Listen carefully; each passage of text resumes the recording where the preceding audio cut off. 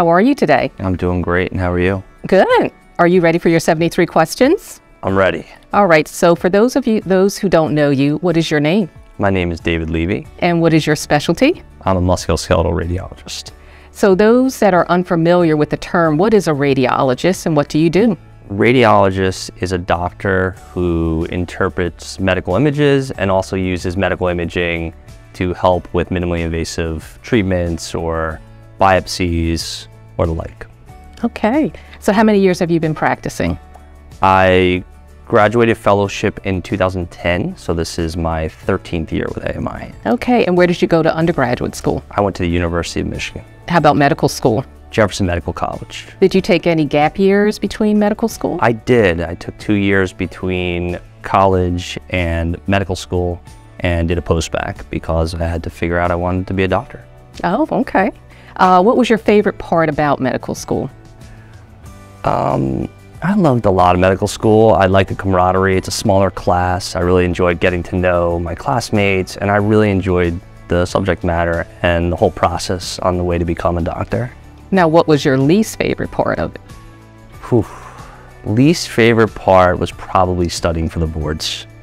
Now, did you always want to be a radiologist or were you thinking of another specialty before? No, good question. So I think when you're in medical school, you kind of toy with the idea of multiple different specialties. Um, and for me, I kind of narrowed it down to two or three. I was deciding between being a cardiologist, which my brother is, uh, an ophthalmologist, and a radiologist. And um, after, you know, a little bit of time, I ruled out um, ophthalmology and cardiology. I just figured my mom already had one cardiologist in the family, so I needed to choose something different. Now, did you always want to be a doctor? No, I did not. Um, when I was in college, I uh, thought I would possibly go to law school. Um, and after I, or towards the end of my senior year of college, realized it's something that I probably didn't want to do, and so I shifted gears. Okay. So, for those interested in being a musculoskeletal radiologist, how many years of schooling did it take you?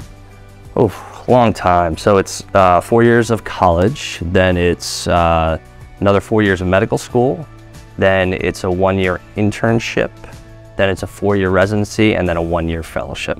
Wow. How does it feel to be part of Atlantic Medical Imaging? It feels great. Um, I, it was really just uh, good fortune that I um, came here to interview. It was uh, a connection. Actually, my my father-in-law um, was his. My father-in-law worked out at a gym with Mitch Brazel, who is one of our senior partners. Uh, his father-in-law, and they just got to talking, and uh, it was recommended to me that I should come and visit uh, AMI. And as soon as I interviewed here, I knew it was the right fit for me. Great. Uh, what would you say is the most unique part of your specialty? I think in radiology, you can have as much or little patient contact as possible. What I really like about musculoskeletal radiology is the blend. So I'm able to um, give a diagnosis to a referring orthopedist or, or family medicine doctor.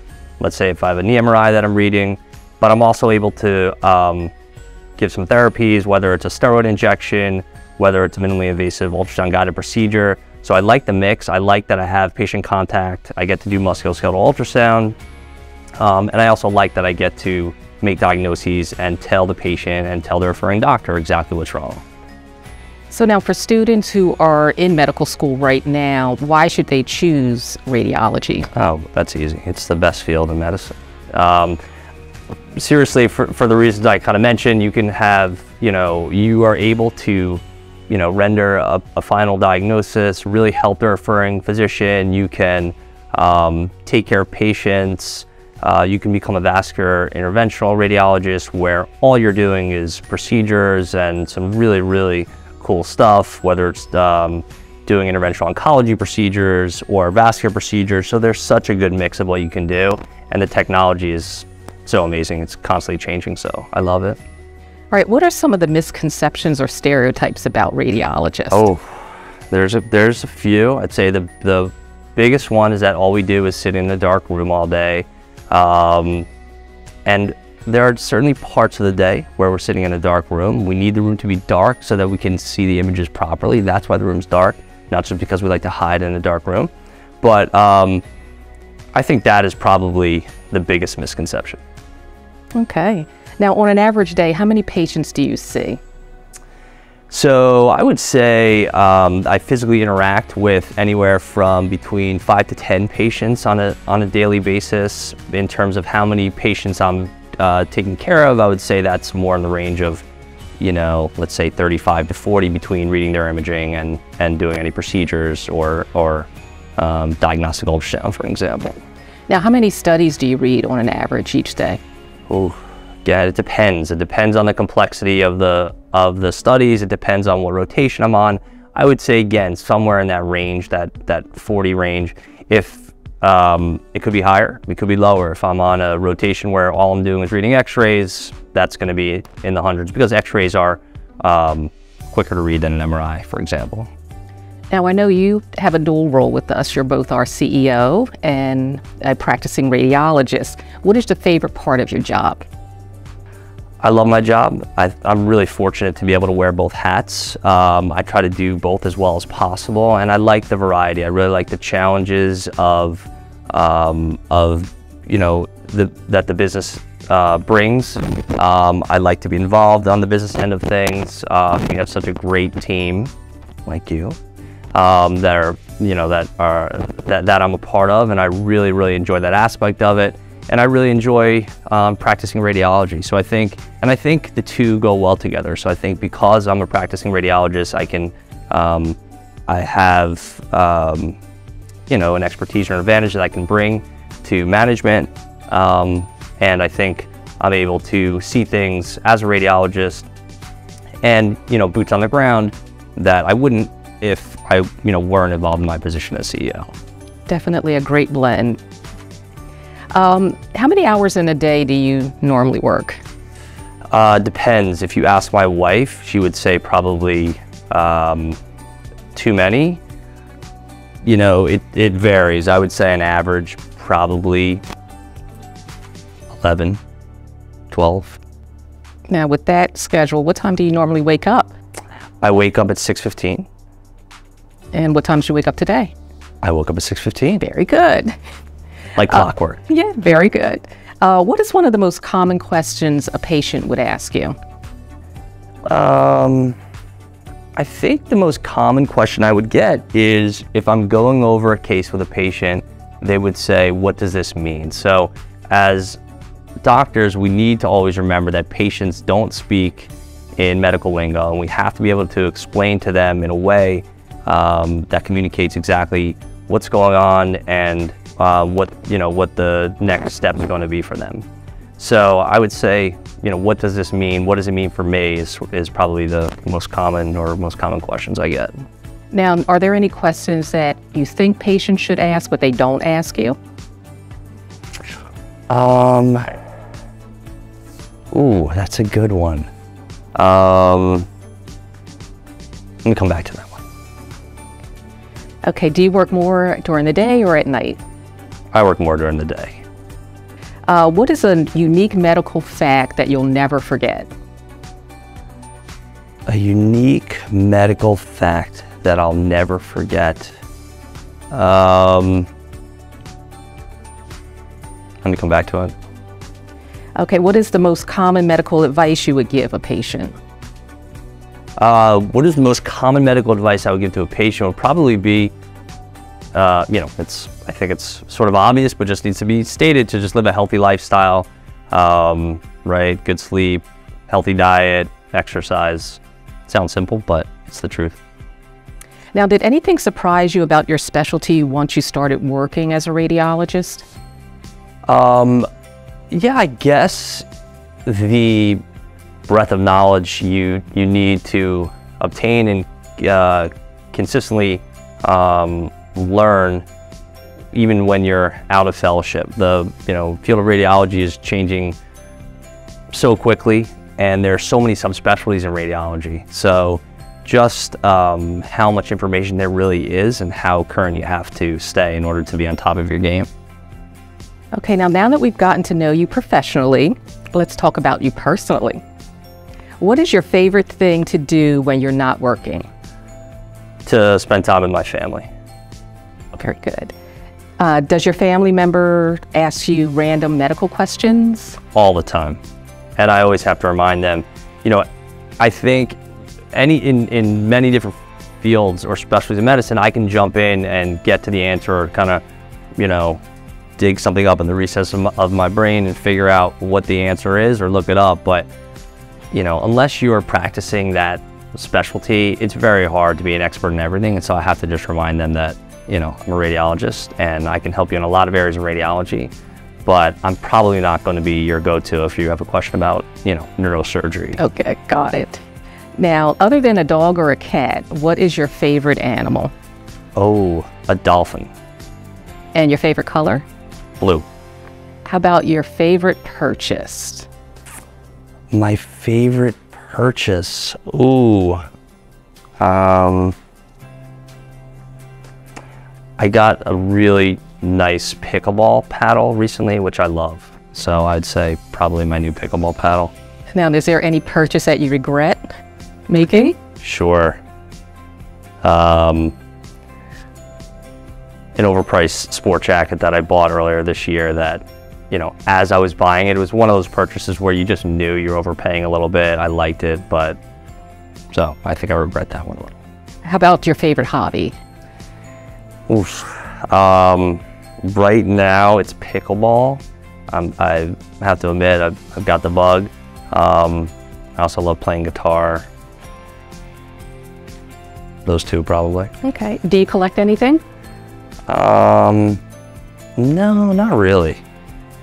Not really much of a collector. Sorry. Okay. Now, if you had the opportunity to have dinner with anybody in the world, past or present, who would it be? Oof, so many good choices. I'm a big Warren Buffett fan, so I would love to have dinner with Warren Buffett. Um, and Abraham Lincoln would have to be up there. Um, I don't know, those two. And what do you think you would eat? What do you think, what meal would be served? I, I love burgers, so I'd probably go with bacon cheeseburger or something of the like. Okay, coffee, tea, soda, or water? Uh, water. I'm not a coffee drinker. I do occasionally drink green tea. I try not to drink soda, but occasionally, a few times a year, I love a Dr. Brown's black cherry or a nice um, ice cold Coca-Cola. Right. Uh, what is your favorite lunch while you're at work? Wawa chicken strips. Pineapple on pizza, yes or no? No. What is your favorite meal to eat? Uh, I don't know. I, I you know I think I eat like an like an eight year old. So a lot of you know hamburgers, chicken strips or chicken nuggets. Um, I do like a good salad. So I do like a good salad. I guess those are kind of three of them. Or steak. Okay. like a steak. Okay. What are your top three places to travel? Top three places to travel that I've been to, I would say Italy would certainly be uh, up there. Um, recently went to South Africa, which was really special and loved that. And um, I guess Hawaii. Is there one place that you haven't gone yet that you would like to travel to? Japan. In your mind, I know you're a radiologist, but what is your dream career? Uh, general manager for the New York Knicks. How do you relax after a work day? Spend time with my family, um, hang out with my dog, um, have dinner, drinks with, with friends. Now, do you prefer nights in or nights out? I prefer nights out. I do like to to go out, grab dinner, see friends, have a drink. Beach or lake? Beach. What's your favorite month of the year? July. And do you like hot weather or cold weather? Hot weather. What is your favorite sport to watch? Now, I know this is probably going to be tough for you. Ooh. I'm a big sports fan. Um, like a lot of sports, probably uh, football, professional football. And who's College your, is second. who's your favorite team? Sorry, everyone. New York Giants. Walking or running?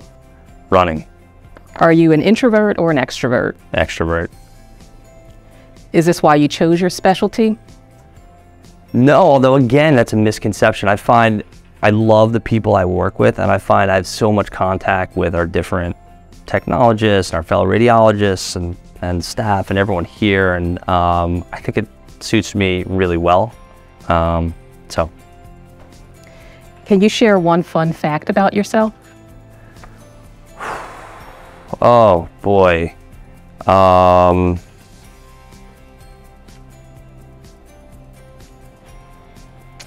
Yes, I have the same exact name as my first cousin. So my name is David Andre Levi, and my first cousin is also named David Andre Levi. Well, I don't want to get into the reasons why, but we have the exact same name. Interesting at family yes, it is. events. That'll be another video. okay. yeah. Uh, what did you want to be when you were a kid? Uh, sports announcer. Is there a different specialty you think you would have done? Um, I think I would have liked a few other specialties. I think ophthalmology, cardiology, um, anesthesiology come to mind. Okay, if you had one superpower for 24 hours, what would it be? Uh, to fly. Now, would you change anything about your journey through medical school? No. What is one piece of advice that someone gave you that has stayed with you? Um, so my father always taught me that um, the sun's gonna come up tomorrow, and as cliche as it sounds, it's really true. You can have the worst day, um, and the world can seem, you know, really bleak or against you, and you just gotta go to bed, shake it off, and wake up the next day and get back at it. If you could change one thing about the medical field, what would it be? Um, all of the red tape and bureaucracy. Um, there's a lot for patients to get through to have, um, you know, an imaging study done or um, approval for surgery. Um, so probably would try to decrease some of that red tape. All right, for students that are currently in medical school that are preparing for your specialty, what is some advice you would give them? just be prepared and excited to learn for your entire career. Um, you don't need to know everything, uh, you know, uh, day one of residency or, you know, at the end of your fellowship. It's not going to be possible. Do your the best job you can and just be prepared for a lifetime of continuous learning.